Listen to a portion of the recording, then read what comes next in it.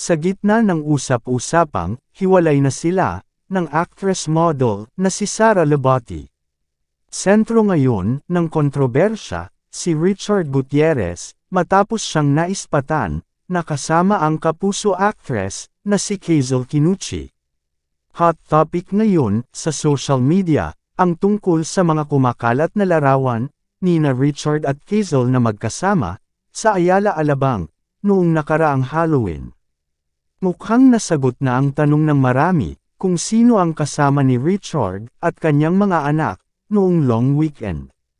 At ito ay walang iba, kundi ang abot kamay na pangarap actress.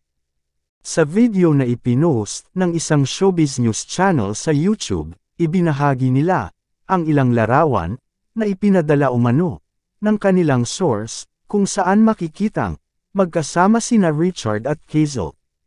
Kuha raw ito, sa Ayala Alabang, kung saan makikita si Richard, na sakay ng isang puting pick-up truck.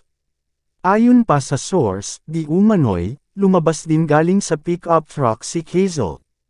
Makikitang kasama rin nila, ang mga anak ni Richard kay Sarah, na sina Zion at Kai. Dahil dito, umugang ang usap-usapan, na si Hazel ang third party, sa hiwalayang Richard at Sarah.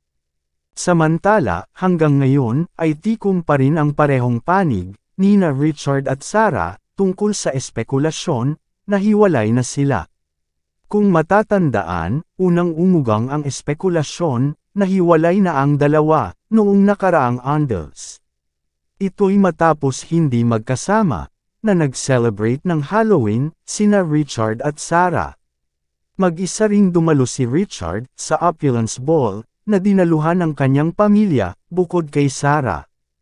Kapansin-pansin din, na hanggang ngayon, ay puro solo pictures, kasama ang kanilang mga anak, ang ipino-post ni na Sarah at Richard. Habang marami naman, ang naiintriga, sa latest post ni Richard, kung saan makahulugan niyang sinabi, na handa na siyang mag-let go, at mag-move forward. Aniya, get up, change of perspective ko, move forward, and let the Most High, take the wheel, your attitude determines, your attitude. Komento pa ng mga netizens sa post ni Richard. Hala, but parang may something sa caption. Yes pansin ko rin, hindi na rin sila nagla-like sa post ng isa't isa. Kung follower ka nila, alam mong hindi sila ganito dati. Kayo mga cam artists, anong masasabi nyo? Comment down below.